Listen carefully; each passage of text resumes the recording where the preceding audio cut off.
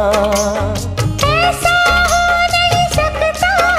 जाए तो मत घबराना